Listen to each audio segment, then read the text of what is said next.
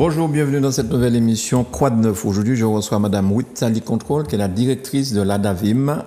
C'est une association qui accompagne les victimes de la Martinique. Bonjour Madame Wittali Control, merci d'avoir accepté notre invitation. Bonjour Monsieur Gagné, merci à vous. Mais je vous en prie, c'est tout à fait normal, c'est notre rôle. Aujourd'hui, euh, vous avez une journée justement pour permettre à l'ADAVIM de présenter un petit peu le projet et expliquer à ceux qui nous écoutent, qui nous regardent, de quoi il s'agit. Alors aujourd'hui, 22 février, se tient partout en Europe la journée des victimes consacrée à la reconnaissance et à la, solidarité pardon, en faveur des personnes victimes. Hein. D'accord. Donc c'est une journée qui se tient chaque année et sur le plan local, nous faisons une manifestation, un événement et cette année nous avons choisi en fait de présenter quelque chose de plus original que nos conférences, que les portes ouvertes, une exposition itinérante avec deux artistes martiniquaises. D'accord. Et ces expositions vont se tenir où? Puisque bon, elles sont itinérantes, donc ça passera dans plusieurs euh, lieux. Alors, les expositions ont commencé depuis euh, mardi dernier. Donc, euh, mhm. au Lamentin, c'est notre siège. Hein, Une semaine. À la médiathèque du Lamentin. Elle s'est poursuivie à Saint-Pierre, au marché couvert de Saint-Pierre. Elle est restée deux jours à l'hôtel de ville du Vauclin. Depuis hier, elle est à la Cour d'appel de Fort-de-France. Et euh, jeudi, euh, ben, après-demain, jeudi prochain, elle se termine au tribunal judiciaire de Fort-de-France. Alors, Madame Tali Contrôle, l'ADAVIM, c'est l'association d'aide aux victimes et de médiation pénale de Martinique. Pourquoi avoir monté une telle association? Est-ce que vous aviez l'impression que les victimes n'étaient pas bien accompagnées euh, en Martinique? Alors, est-ce qu'elles ne sont pas bien accompagnées Oui, en fait, le projet euh, est plus au niveau national. On va dire que dans chaque, sur chaque territoire, dans mhm. chaque département, il y a un service d'aide aux victimes euh, agréé par le ministère de la Justice. Hein. Et en Martinique, c'est nous, à Davim, France Victime Martinique. Et ces associations sont regroupées au sein de France Victimes, qui regroupe 130 associations de professionnels, de juristes, de psychologues, de travailleurs sociaux. Et notre mission est d'accueillir, d'informer, d'accompagner les victimes euh, dans leur globalité sur ces différents champs. Alors pourquoi ça fonctionne bien? Est-ce que ces Est-ce que ces gens viennent à vous? Ou est-ce que c'est par exemple comme les assistantes sociales, vous entendez parler de telle ou telle situation et que vous allez vers eux pour pouvoir leur proposer votre aide? Alors, les gens peuvent venir spontanément, au plus près des faits, mais euh, les victimes nous sont surtout orientées par les enquêteurs, les services enquêteurs, police, gendarmerie, par le tribunal euh, mmh. judiciaire, le parquet de Fort-de-France, hein, puisque nous tenons également, nous gérons le bureau d'aide aux victimes, c'est notre principal lieu d'accueil des victimes au sein du tribunal à Fort-de-France. D'accord. Donc les victimes peuvent venir spontanément, mais essentiellement des institutions euh, judiciaires. Vous faites partie du tribunal alors? Non, nous sommes une association loi 1901 agréée par le ministère de la Justice. Nous sommes considérés comme des auxiliaires de justice. Nous sommes totalement indépendants, mais nous travaillons avec la justice. Et comment, comment ça se passe quand quelqu'un qui a besoin d'aide cette aide-là, vous lui apporter sur, suppose, un plan moral. Mais euh, comment ça se passe? Parce que les gens, des fois, ils ont honte peut-être de venir dire j'ai besoin parce que je suis maltraité ou j'ai été battu ou peu importe le délit, mais comment ça se passe? Ben, En fait, on accueille la victime à tous les stades de la procédure. Même si elle n'a pas encore déposé plainte, on l'accueille, on l'écoute, d'abord pour savoir si vraiment il s'agit d'une victime d'infraction pénale. Et si c'est le cas, on va d'abord lui informer, l'informer de ses droits. D'accord. Euh, des fois, les victimes ne sont pas prêtes à déposer plainte. Donc, elles seront vues par un psychologue tout le long de la procédure judiciaire jusqu'à ce qu'elles soient à même de déposer une plainte. Si elles le souhaitent, elles ne sont pas obligées de déposer une plainte. Par contre, si c'est un mineur dont nous avons la connaissance, effectivement, on fera un signalement au parquet si c'est nécessaire. Mais pour les adultes, on les accompagne à leur rythme. Mais est-ce que cet accompagnement-là, est-ce qu'il est payant pour la personne qui souhaite l'aide? Ou est-ce que c'est du bénévolat pour vous et pour l'accompagner sans que ça lui coûte quoi que ce soit financièrement? Alors, ce n'est pas du bénévolat pour nous, dans la mesure où nous sommes financés essentiellement par le ministère de la Justice. Nous avons une mission de service public. L'aide aux victimes relève de la politique publique pénale de l'État. Donc, par contre, pour les victimes, nos interventions sont totalement gratuites et confidentielles. D'accord. Euh, est-ce que par rapport au, département de la France, euh, là-bas, en métropole, est-ce qu'ici, cette association, la DAVIM, fonctionne avec le même nombre de personnes? Est-ce que vous êtes en sous-effectif Vous avez peut-être besoin de qu'on vous aide Alors Comment ça se passe Oui, en sous-effectif, oui. Parce que euh, depuis 2005, date de la création de la structure, on a commencé avec un juriste et aujourd'hui, nous avons deux juristes, deux psychologues, deux travailleurs sociaux.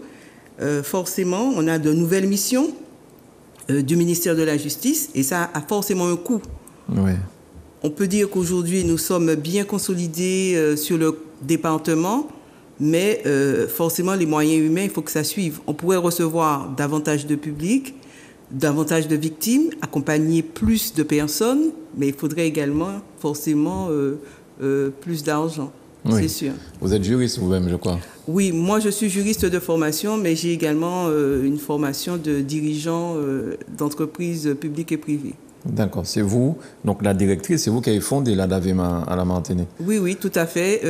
j'ai créé cette association à la suite d'une d'une autre association dans laquelle je travaillais qui a été liquidée. Et donc avec le soutien des chefs de cours euh, j'ai décidé de reprendre euh, ben, le flambeau sur le territoire avec également le soutien de l'INAVEM qui est devenu actuellement France Victime à l'époque.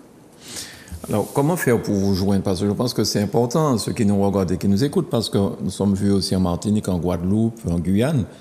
Ce genre d'association, cette association existe aussi dans tous ces départements tous les départements, euh, en Guadeloupe, en Martinique, en Guyane également. Mais euh, d'ailleurs, vous avez dit Adavim, mais c'est Adavim France Victime Martinique. Alors pourquoi depuis 1998, euh, donc ça a changé? C'est pour qu'il y ait une certaine uniformité au niveau du territoire. Quand on parle de France Victime, on saura que c'est une association agréée, ministère de la Justice, qui reçoit tout type de victimes et pas seulement des victimes de délinquance, de viol ou de violence conjugale, mais également des victimes d'accidents de la circulation, de catastrophes naturelles, catastrophes euh, industrielles. Nous sommes dans une petite île, nous avons la SARA, nous avons EDF, nous avons de grosses infrastructures. Notre compétence euh, s'étend à tous ces domaines.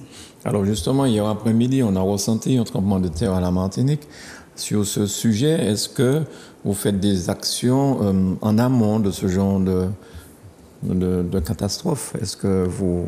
Pas directement, parce que nous intervenons dans le poste immédiat c'est-à-dire que s'il y a une catastrophe de ce type, nous serons sollicités par les, par les pouvoirs publics, tribunal, préfecture, pour intervenir après dans le poste immédiat. Vous avez euh, la cellule euh, d'intervention médico-psychologique qui va intervenir tout de suite, par exemple, et nous, on viendra par la suite pour le suivi dans le long terme. Par exemple, pour Irma, euh, nous avons instruit après des dizaines de dossiers euh, auprès de, du ministère de l'Outre-mer pour euh, aider ces personnes. Vous voyez euh, pas forcément tout de suite, mais sous le long terme, on accompagne. Et ça fonctionne, ça prend combien de temps à peu près? Je pense à Yuma, ça prend combien de temps à peu près lorsqu'il y a une catastrophe naturelle comme ça pour que les victimes soient, soient, soient aidées? En fait, il y a des fonds qui sont mobilisés dans ce cadre-là et ça va assez vite. Ça va très très très vite. Du moment où l'État a arrêté euh, les grandes directives, euh, les fonds sont mobilisés, nous, nous intervenons tout de suite pour instruire euh, les dossiers. Alors ce travail essentiel que vous faites pour les victimes 97 de Martinique, hein, est-ce qu'après le tribunal se saisit de ce dossier en tenant compte de votre travail pour pouvoir donner, une, donner une décision dans, dans votre sens? Alors, donner une décision dans notre sens, je ne pourrais pas vous répondre directement il faudrait poser la question au chef de cour et au chef euh, de juridiction. En tout cas, euh, nous, nous faisons notre travail. Vous ne m'avez pas dit que vous étiez politique. Hein. Non, vous n'êtes pas politique. Hein. Vos réponses, il n'y a pas de langue de bois dans vos non, réponses Non, non, pas du tout. Je n'ai pas, non, je n'ai aucune étiquette. Moi, je suis pour mon pays. Donc, euh, voilà. Euh, c'est ce qui prime. Et quand on travaille également pour les victimes, c'est pas certainement pour les Martiniquais, mais pour les victimes de passage également, les victimes ah étrangères, en situation régulière ou pas. Euh, il n'y a pas qu'on soit femme, homme, mineur, il n'y a pas de distinction. Euh, c'est le même soutien, le même travail, le même accompagnement que l'on va fournir à la victime. Même à des gens qui sont étrangers euh, Étrangères, oui, ça nous arrive. Hein. À qui il arrive quelque chose ici, vous pouvez les aider. Ah, pour la réponse du tribunal, les dossiers que vous avez suivis, est-ce que généralement vous êtes satisfaite de la suite? Alors, on travaille en partenariat avec la justice. C'est vrai que nous sommes, par exemple, au bureau d'aide aux victimes et c'est une facilité pour nous parce qu'on peut informer la victime directement de la suite de la procédure par rapport à la chaîne pénale.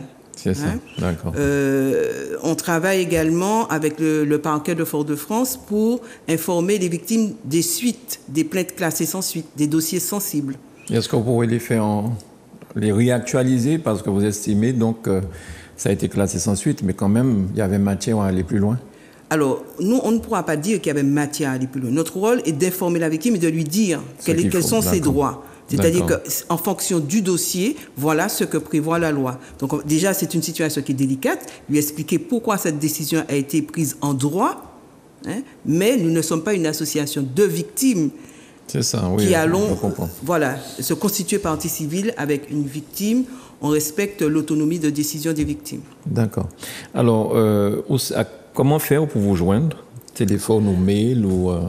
Alors, on peut nous joindre euh, principalement, donc du lundi au vendredi, au tribunal judiciaire de Fort-de-France, au 05 96 48 43 27, au siège, donc au Lamentin, à l'antenne de justice et du droit du Lamentin, au 50, 05 pardon, 96 51 31 28 et le portable également professionnel de la structure où on peut surtout nous laisser des messages parce que les juristes, les, on n'est pas forcément disponible. Hein. Au moment de l'appel. Voilà, mais laissez un message, un SMS au 06 96 30 87 34. Et euh, vous avez à peu près un nombre de, victimes que vous avez accompagnées ou que vous avez reçues euh, Alors, depuis la création, alors oui, l'année dernière, nous avons reçu 3 000, euh, pardon, non, nous n'en sommes pas encore là. Et encore, parce que c'est une moyenne. En France, ils reçoivent 20 000 hein, victimes. par exemple, Paris aide aux victimes avec les attentats, parce que ça fait hmm. partie également de notre compétence. Ben, ils ont également beaucoup de saisines. Hein. Donc, nous, nous sommes encore modestes, mais c'est relatif à notre territoire. Alors, qu'est-ce que vous appelez saisine pour, La saisine, c'est le fait de, de, de, nous saisir, de venir au service d'aide aux victimes. De, voilà, c'est ça, c'est ce qu'on appelle une saisine. Euh, l'année dernière, nous avons eu, voilà, on reçoit à peu près 1200 euh, victimes par an. Et l'année dernière, malgré la situation euh, sanitaire, on a reçu 1367 personnes victimes. D'accord. Voilà, sur le territoire. Avez-vous reçu des demandes de d'aide pour des personnes concernant justement le Covid Alors, euh, oui. ça fait partie justement de notre compétence. Je ne vous l'ai pas dit, mais euh, tout ce qui concerne catastrophes sanitaires également, par exemple le Mediator, on a instruit beaucoup de dossiers. Il n'y mmh. avait pas d'avocat dans ces dossiers. On a accompagné des personnes devant les différents fonds. Euh, pour le Covid, c'est pareil également. Information des victimes, des personnes qui s'estiment victimes, information de leurs droits, simplement pas de prise de position euh, dans les dossiers. Alors, sans, sans, sans avoir à vous demander, euh, je suppose qu'il y a certaines choses que vous ne pouvez pas dire de par votre position, mais est-ce qu'il y a beaucoup de victimes de cette pandémie de, du Covid-19 qui demandent de l'aide? Parce qu'il semblerait qu'il y ait des plaintes qui sont posées généralement, on parle plutôt de la France, même dans d'autres pays, enfin bon. Est-ce que chez nous, c'est le cas? Non, on a eu, c'est vraiment euh, dérisoire. En tout cas, au niveau du service d'aide aux victimes, euh, c'est comme pour le chlordécone également. Hein. On reçoit également des victimes, ça fait partie de notre compétence. Pour l'instant, euh, c'est très dérisoire. On n'a pas de retour de victimes forcément de dommages ou de choses comme ça. Pas à ce stade. C'est important d'avoir parlé du chlordécone ou de la chlordécone. C'est vrai mhm. que on en parle, c'est vrai qu'il y a eu une procédure, il y a eu une enquête. Euh, les Martiniquais disent, enfin, les sols martiniquais sont pollués sur 700 ans, donc il y a beaucoup de personnes qui s'insurgent contre tout ça. Et c'est dérisoire le nombre de personnes qui demandent de l'aide.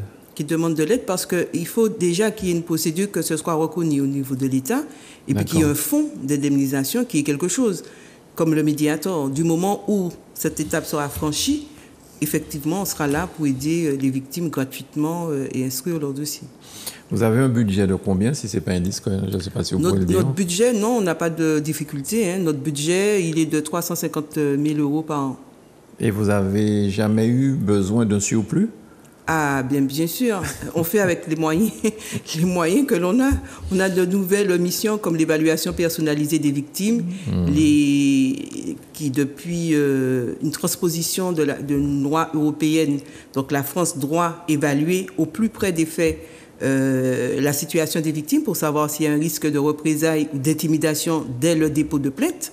Donc c'est une mission supplémentaire que nous avons et nous avons besoin de moyens forcément euh, parce que ce sont des missions qui sont lourdes. Il faut évaluer, il faut proposer, euh, des, faire des préconisations en fait, euh, comme le bracelet anti-rapprochement, peut-être que vous avez entendu parler de, tout cela, des ordonnances de protection pour les victimes.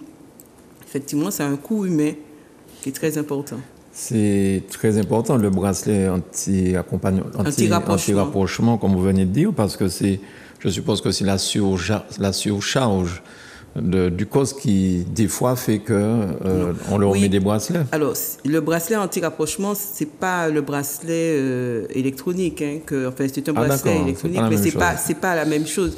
Ça intervient simplement pour qui, empêcher... qui accomplit sa peine avec le bracelet. c'est pour empêcher qu'il puisse aller... Voilà, entrer en contact avec la victime sur un territoire délimité. Donc, c'est une protection, c'est une mesure de protection pour la, la femme, notamment victime euh, de violences conjugales. La femme ou l'homme La femme ou l'homme. Nous sommes un service. Hein. C'est notre particularité. On reçoit toute personne qui s'estime victime, que ce soit des hommes, que ce soit des femmes. Et effectivement, dans notre service, nous avons déjà reçu également des hommes victimes de violences conjugales. D'accord. Mhm. Et quel est, votre, quel est le regard que vous portez sur ce genre de violence? Mais le même, le même, le même que l'on porterait sur une femme victime de violence, c'est une victime comme une autre. Et notre rôle est de lui fournir le meilleur service, le meilleur accompagnement pour que ses droits, euh, pour qu'il puisse faire valoir ses droits. Est-ce que les Martiniquaises, enfin les, les, gens qui souhaitent votre aide, peuvent venir physiquement oui. à, votre siège Oui. Il est situé où? Alors, c'est au Lamentin, à l'antenne de justice et du droit du Lamentin. C'est à la rue mmh. euh, Pierre Zobda Kitman, euh, voilà, à l'entrée même euh, du Lamentin. C'est pas très compliqué. Mais en fait, nous avons des permanences sur l'ensemble du territoire. D'accord. Euh, justement, notre. alors, à Sainte-Marie, pour le nord Atlantique, notre passage à Saint-Pierre a permis à la municipalité justement de voir notre travail et nous avons prévu prochainement une permanence qui sera délocalisée pour le nord Caraïbes. D'accord. Euh, c'est pareil également dans le sud. L'antenne de justice et du droit de Rivière-Salée à Boulier, mais nous avons déjà des partenariats avec d'autres villes pour euh, mettre en place des permanences euh, au plus près des, victimes. À Boulier, carrément?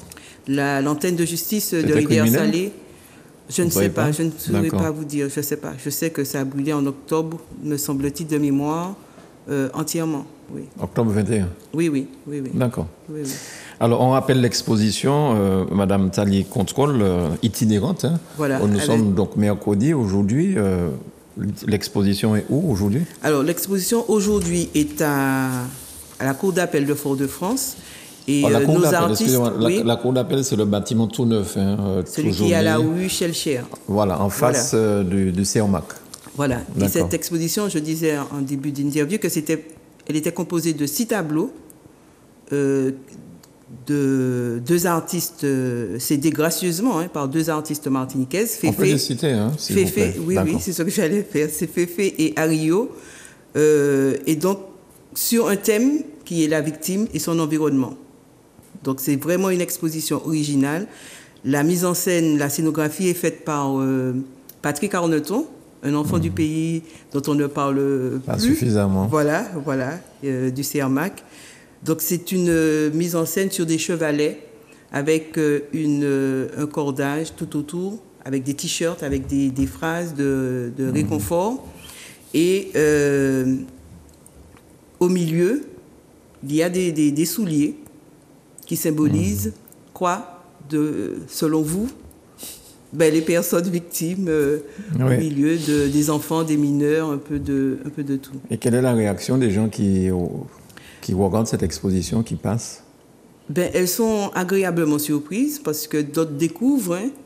Euh, on a eu euh, les, souliers ont beaucoup attiré l'attention. Je crois que ça a été le le, le, le, plus important euh, pour les victimes, avec beaucoup de regards différents. Des victimes qui courent, des mmh. victimes qui ont oublié leurs souliers, voilà. Alors que le scénographe pensait simplement à des personnes victimes et symbolisait la victime. Elle peut être une enfant, un enfant. Un homme, une femme, ça n'a pas d'importance. Alors, dans certaines rues de Fort-de-France et des environs, hein, sur les fils électriques, on voit deux chaussures suspendues par des lacets. Généralement, c'est quand quelqu'un de quartier a été euh, violenté ou tué, quelque chose de ce genre. Voilà. Donc, euh, ça peut. Enfin, c'est pas la même chose, mais enfin, ça fait penser à tout ça. Voilà, voilà. c'était en tout cas le symbole du, scénographe. Est-ce qu'il y a quelque chose que je ne vous ai pas demandé, que vous auriez aimé dire pour compléter euh, cette émission? Ben, euh, dire que dans chaque département, il y a un service d'aide aux victimes et ne pas hésiter, ne pas attendre simplement la commission de l'infraction, mais on peut être euh, professionnel, on peut être soi-même touché en tant que victime. Sachez que la DAVIM France Victime Martinique est à votre disposition gracieusement pour euh, vous informer ou vous accompagner tout au long de la procédure judiciaire. Très bien. Merci beaucoup, Madame Tadi Control, d'être venue aujourd'hui. Je pense que vous avez une journée très chargée, d'avoir pris ce moment pour venir donner des explications à nos amis téléspectateurs. Merci, Monsieur Gagné. Et euh, chaque fois que vous aurez besoin de nous, nous sommes là.